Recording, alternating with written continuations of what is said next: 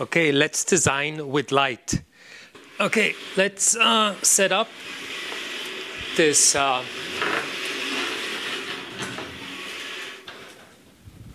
for staged studio photography. With this setup, I can actually put heavier uh, props or objects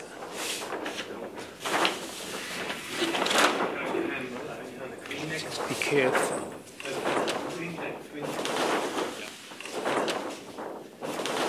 To equip the students with um, critical thinking, teach them broad skills, and make them curious about everything by means of demonstration.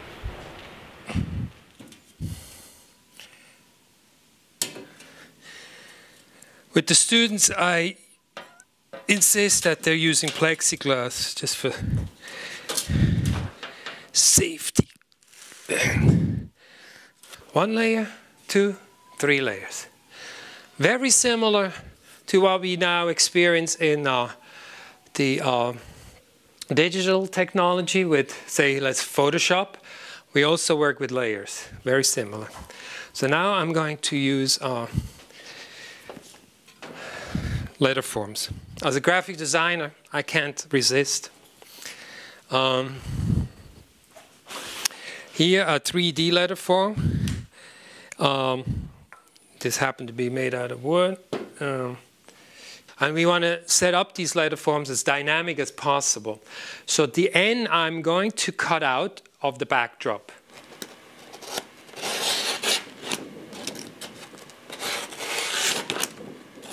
An assignment such as white is a perfect balance to something more pragmatic like logotype design. And uh, I call it uh, the yin and yang of design education.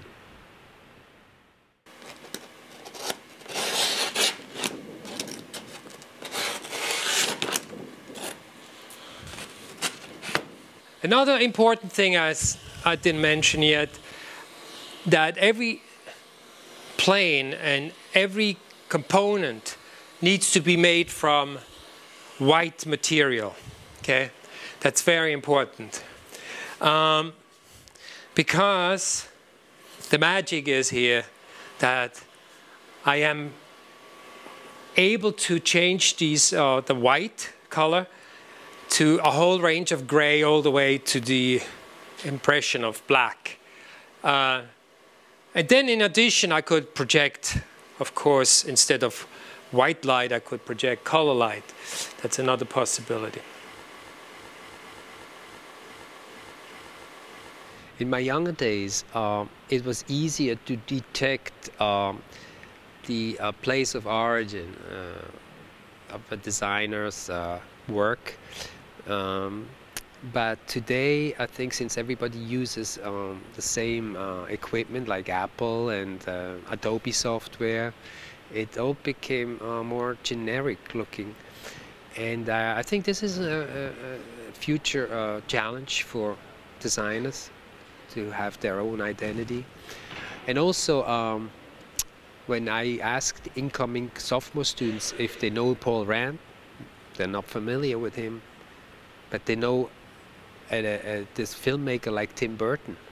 So it's quite interesting, you know, where the uh, importance lies. Okay, a little softer.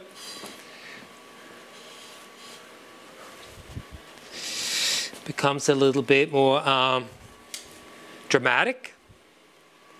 Okay. And of course, the point is that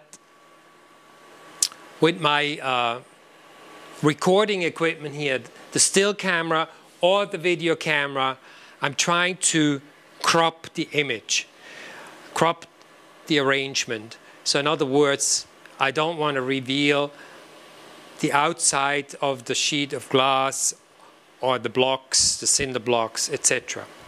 Okay.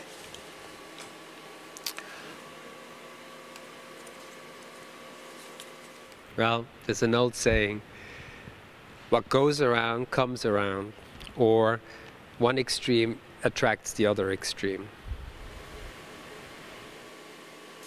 Okay. Now the other thing is we could also use a backlight, meaning behind the backdrop, which could be interesting. Okay. So that in addition.